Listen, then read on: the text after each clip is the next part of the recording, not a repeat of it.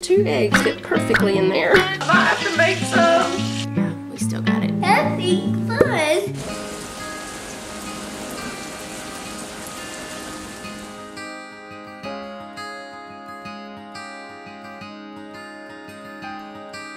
It's another rainy day. It is another rainy day. I got a red one. Oh, there's another red one. There were cardinals and blue jays out here like crazy and it was so pretty because there was like red and blue everywhere. Thank you, three today. Yeah. Okay, y'all, it is Sunday afternoon. We are about to fold this laundry. My dryer, as of right now, still messed up. The part is supposed to be here tomorrow. I'm just not sure what time tomorrow, so I may have to go to the laundromat one more time, or Jacob and Tyler might go for me one more time if they want to. They don't mind going for me because there's lots of fun little stores and stuff around the laundromat. So they take turns sitting with the clothes and looking around. There's also a coffee shop and a beef jerky store. So yeah, I don't know what time it's gonna get here tomorrow. I think it's coming through FedEx. It could be like seven o'clock tomorrow night before they deliver it for real. So I'm thinking I'll wash a couple more loads. I have a load going right now, but it's stuff that I can just, you know, hang around and it'll dry pretty quick if I need to. But I think I might go ahead and wash up some more and we'll go one more time. That way if it doesn't get here until late tomorrow, you know, it'll be Tuesday again before I can wash any or late Monday evening. So yeah, I think we'll go ahead and get them all washed and dried up again. So what I've been doing is just washing them all here and then just going to dry them at the laundromat, which surprisingly, I've stayed caught up on laundry more since the dryer has not been working than I do when the dryer is working.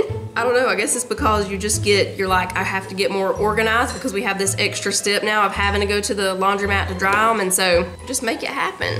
I usually just throw all the socks in a basket. Well, y'all seen that big basket of socks we had back around Christmas time. And then we just, it's like a sock party. You just sit them all out and everybody finds the matches. It's a nappy kind of day, but I am not taking a nap. Everybody just found something for lunch today and we already got the kitchen cleaned up.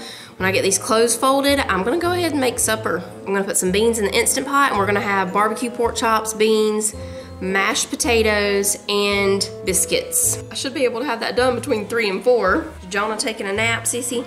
Yeah. Let's see, I think we'll watch, I forgot to cancel my 30 day free trial membership thing for Up Faith and Family on YouTube before the 30 days was up, and so yeah, we still got it. They still have lots of Christmas movies on here. I mean, I still have my Christmas lights on my stairs, so who am I to talk about them won't put on Christmas movies? That's fine. Oh, what is this Jane Doe show? Titus and the kids have been on a Beverly Hillbillies kick here lately. Oh, Finding Normal. I do like that movie. Do y'all like that movie, Finding Normal? It's an old one.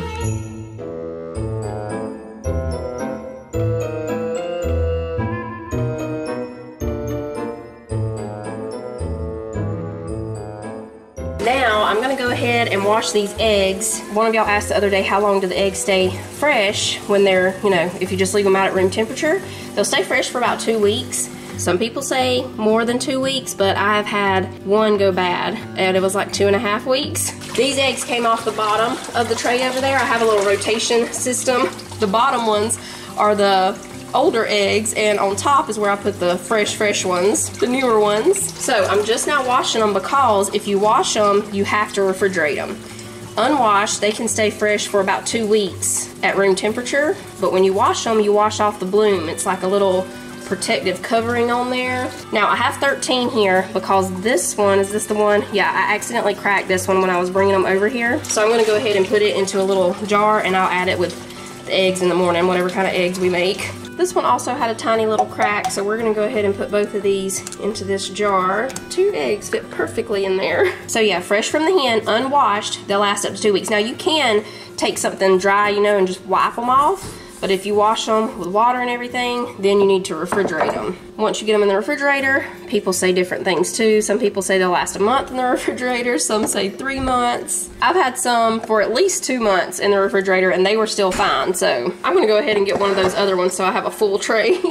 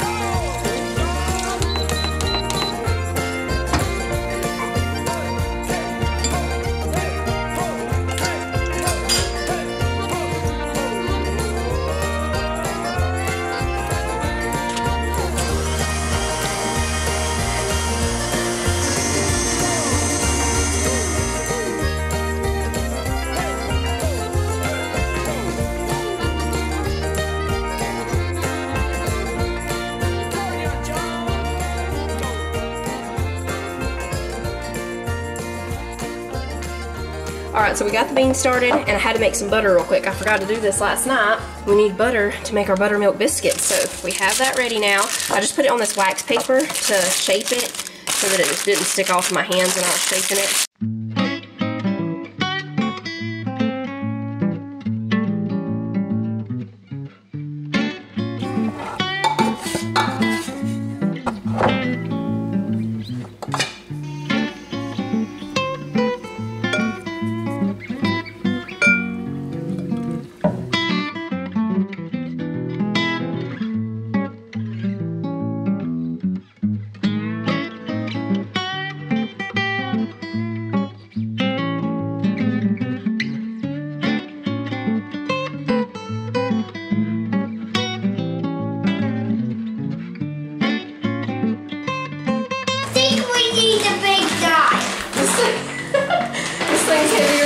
Almost two of you. We're coming in here to get the potatoes. This is the big 50 pound bag I was telling y'all about that I got from Ingles the other day. It was only $17, y'all. Five pound bags right now are right at $5. Almost 100 pounds. Almost 100 pounds. It's half a 100, isn't it? Yeah. Okay, we're making mashed potatoes tonight. Yeah. One, two. Yeah, don't a bit. Three four, five, nine, ten. We need one or two more because a couple of those are little.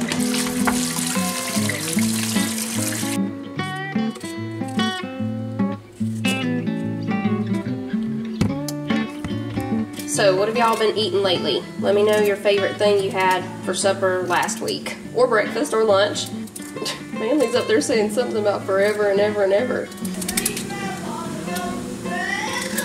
Three grandpas about to stand up? What are they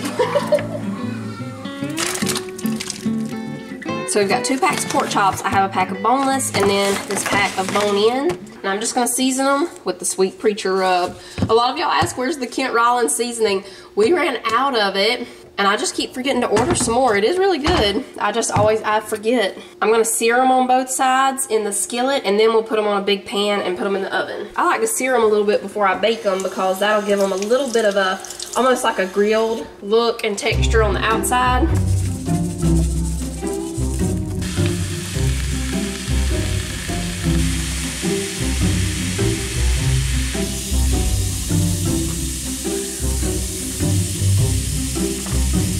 So when I get the pork chops all in the pan, I'm just gonna stick them in the oven for about 10 to 15 minutes to finish cooking. Then we'll put some barbecue sauce over the top of them. I'm looking for barbecue sauce. I might have to make some. First we put in one and a half cups of ketchup. One cup of brown sugar.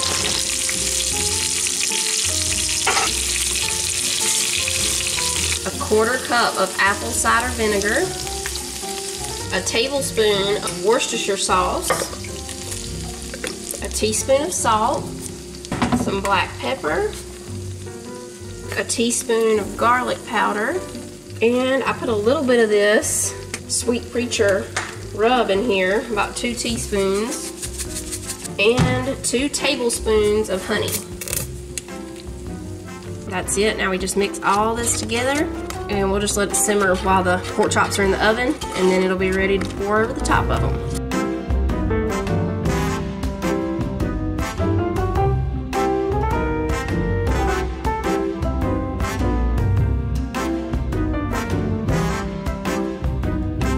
I got some vittles.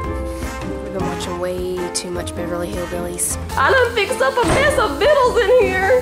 They're out there working on that cow trailer, I hope, or else I just yelled out all of that to nobody. Meanwhile, Jonah's been upstairs making a model of the solar system. This is great. My times much and having fun. How about another story? Okay. What's in scene? Dancing washing machine. Yeah.